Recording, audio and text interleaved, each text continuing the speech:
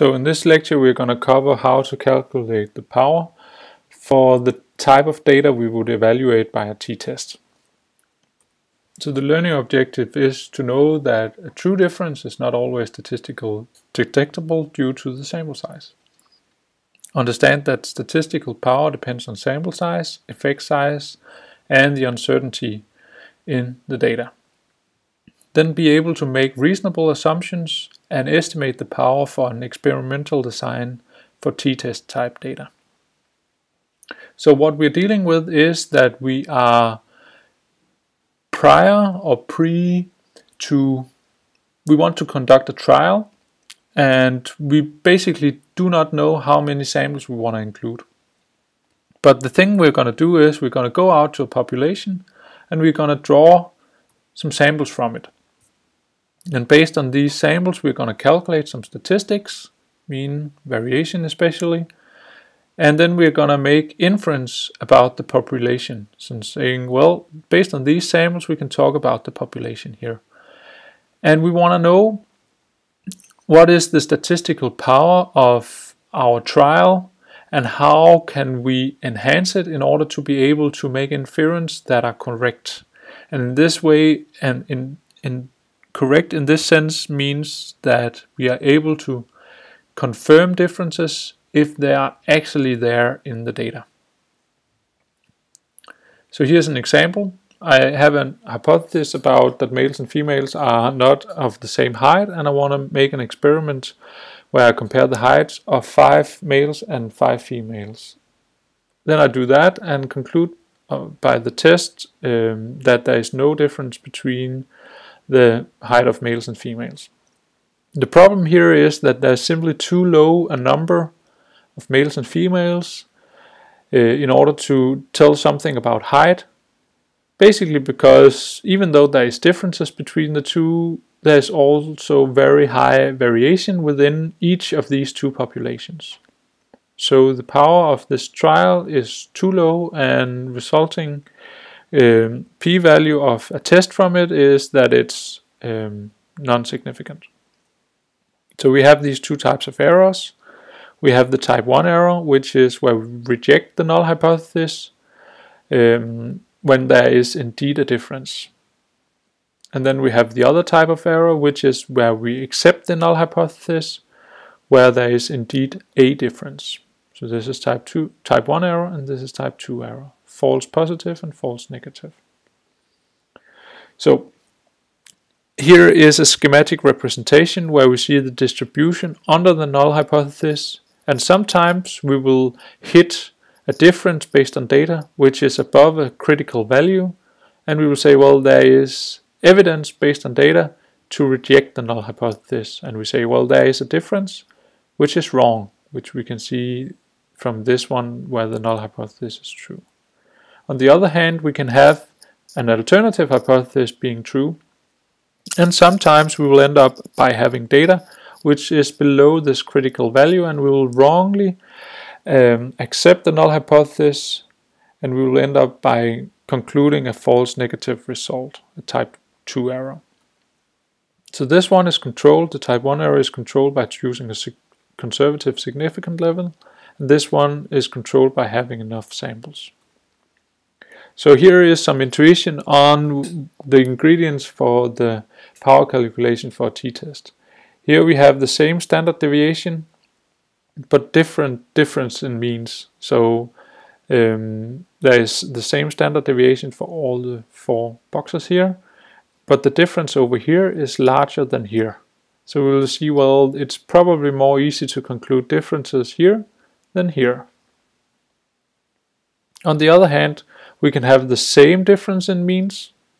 There's the same difference from here to here as from here to here in means, but different standard deviation. So the standard deviation here is low and high over here, and we will conclude that it's probably more easy to find a difference here compared to here, even though that the, the effect size, the difference in means are the same. Here we have the same standard deviation, the same means, but a different number of samples. And if we have very many samples, we will say, well, it's probably more easy to conclude that there is a difference here. But over here, there's simply not very high data support for any test and it's hard to figure out whether the, there is a difference between the means. In order to be able to calculate the power for a t-test, we need to know what the t-test is. So this is the model for the t-test. We have two distributions, one arm here, x11 up to x1n1, and we assume that it's normally distributed by a mean and a variance. The same goes for the second arm. The test here, if we have data, we take the mean of the two groups, subtract them from each other, and divide by this measure of a pooled variance, pooled standard deviation, and then scaled by this factor which pretty much tells you how much data support there is from the two arms. And then this, this value here is translated into a p-value based on this distribution, the t-distribution with some degrees of freedom being larger than the observed t-value here. So the null hypothesis is that we assume that the two are, are, are equal to each other, the two means are equal to each other, and the alternative is that we assume that they are different. The first thing you should do is you should set an expected difference. So what do you assume prior to doing the test that the mean in the one sample and the mean in the other sample, the two arms, especially the difference between the two, what would you expect them to be? Further, you should make a choice on what the standard deviation in the populations are, sigma 1 and sigma 2, and usually what you would do is you will assume those two guys to be the same. But you have to figure out what the number for it is. Then you estimate the distribution of the test statistics, that is how is T ops distributed, and you calculate the power. So this is the data that we assume to get. We have x11 up to x1n, and it's distributed, normally distributed with a mean and a variance and then the other arm goes in exactly the same way, just with another mean. Here we have assumed that the two variances are the same. And then the power calculation is, we are asking what should n be in order to have high power. So that is the question here. So first of all, we're going to construct the test statistics. So the test statistics is equal to x bar 1 minus x bar 2 divided by this x pooled and then 1 over n plus 1 over n. So this one is x1 bar minus x2 bar divided by sp 2 over n.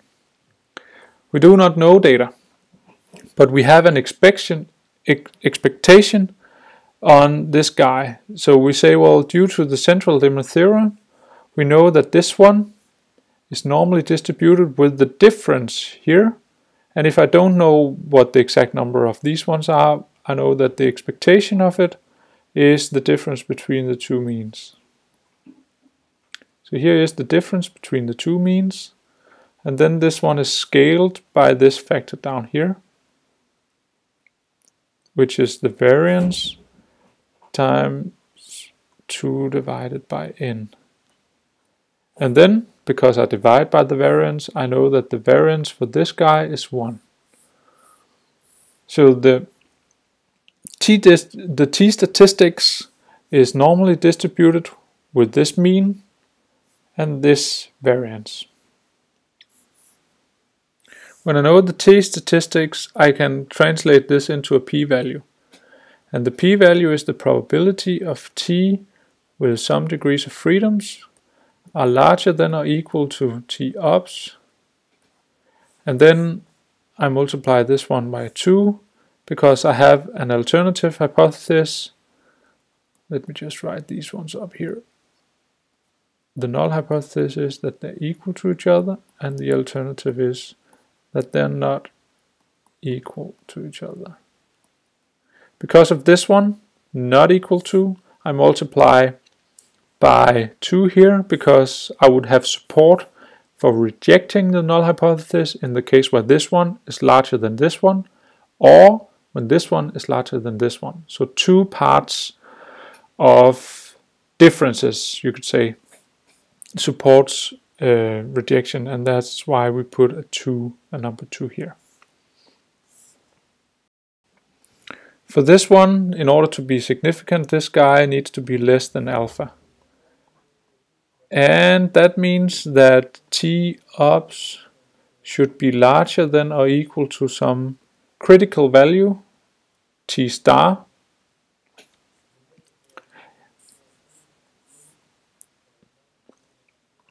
If alpha is equal to 0.05, then T star for two-sided test is roughly 2. So in this case, let's just set it to 2.0. So having con conducted a number of t-tests, you would know that t-statistics is critical around the number 2. So if you observe a t-statistic larger than 2, you usually will observe a p-value less than 0.05.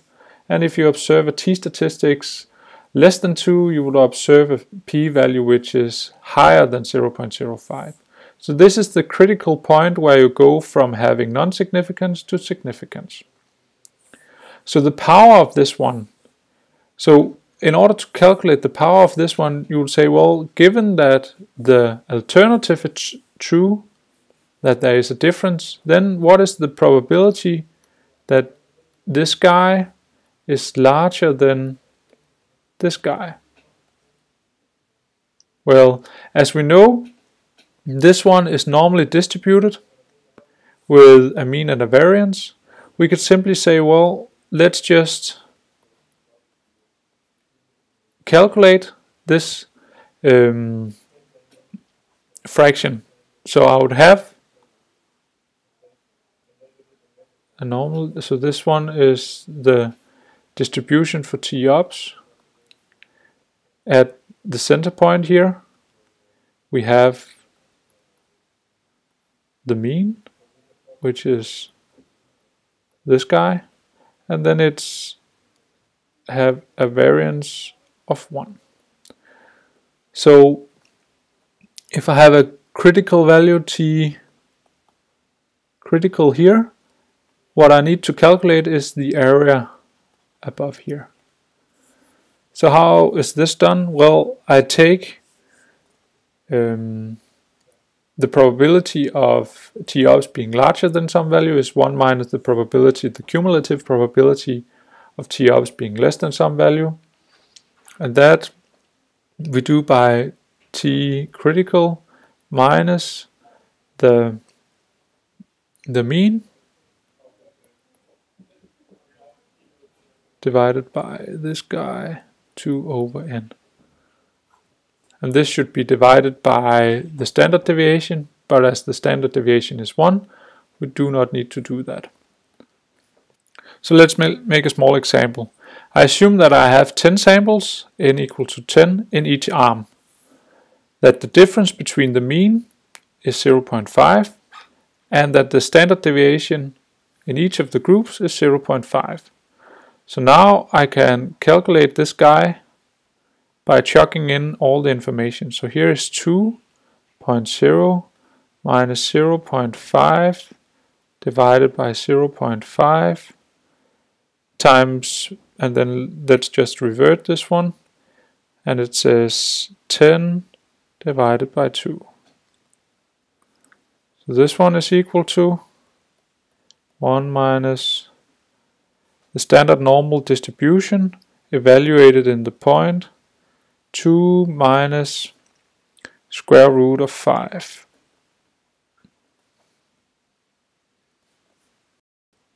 which is equal to 1 minus this one evaluated at minus 0.23 which is equal to 0.56.